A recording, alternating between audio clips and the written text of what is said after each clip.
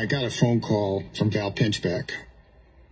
He and the commissioner were up in Buffalo for the championship game, you know, between the Raiders and the and the Bills, and um, they wanted to hear the anthem.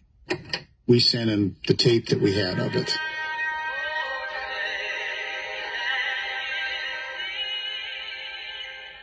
I got a call back the next day saying we don't think it's appropriate. We need you to re-record it.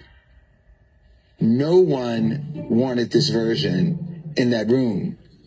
It was too different. We can't do it. And there was immediate phone call to John Houston, who was Whitney's dad and manager.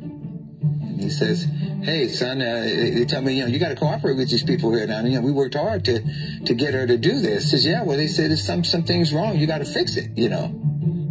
I said, "Well, with all due respect, um, I work for Whitney, no one else but her. And this is what she and I have talked about. This is what she wants. So I need you to trust me.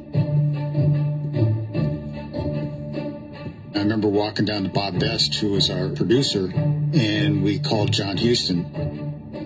And I just remember holding the phone out two feet from my ear as he said whatever he was going to say. But I'm sure there were a few expletives thrown in to no, we're not going to do it. I'll see you guys in Tampa. We'll be doing the version that I sent to you originally. And thank you.